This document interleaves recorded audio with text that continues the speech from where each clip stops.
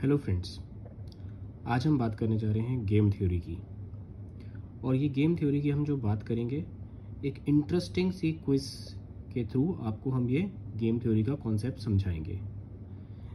तो let's assume China जो है वो बदमाशी करना चाहता है और इसके लिए वो अपनी दो यूनिट ऑफ़ आर्मी इंडिया में भेजना चाहता है। उसके पास इंडिया में भेजने के लिए दो रास्ते हैं। एक इजी रास्ता है और एक हार्ड रास्ता है। अगर वो इजी रास्ते से आता है तो वो पूरी की पूरी अपनी दोनों यूनिट्स लेके आ सकता है। अगर उसे इंडिया में कोई आर्मी की यूनिट नहीं मिलती तो फेस करने के लिए। और अगर वो हार्ड रास्ते से आता है तो उसमें पहाड़ है, नदी है तो चाइनीज़ की दो यूनिट में से सिर्फ़ एक यूनिट ही पहुँच पाएगी मतलब आधी आर्मी ही पहुँच पाएगी।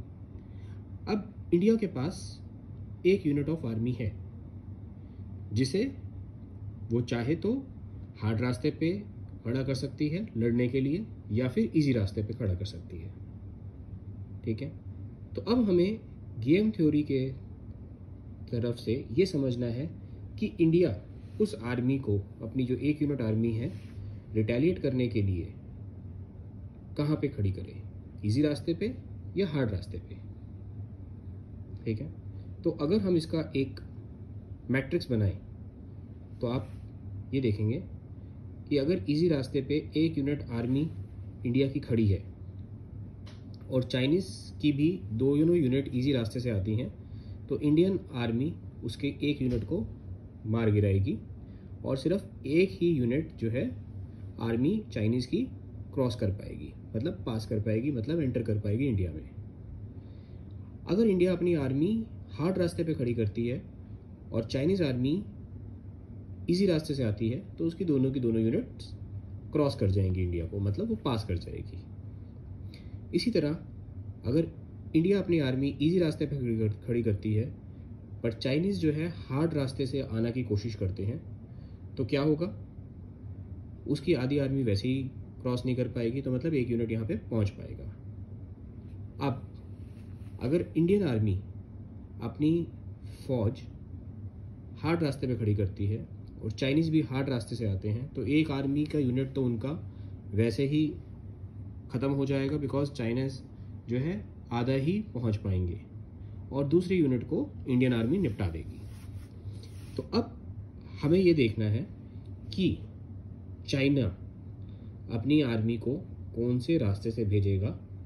अकॉर्डिंगली इंडिया भी अपनी आर्मी की यूनिट जो है, उसी रास्ते पे खड़ा करेगा। अब ये डिसीज़न लेना उतना आसान नहीं है, लेकिन वॉर जोन में इस तरह के स्ट्रैटेजिक डिसीज़न लेने पड़ते हैं।